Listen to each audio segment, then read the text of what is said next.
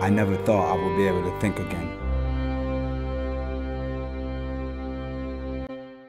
Tyranny has met with civilization and has overcome.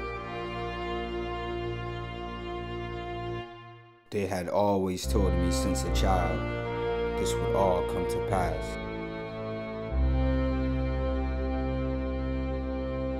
In time, let's just say that no longer exist. Where I'll be going,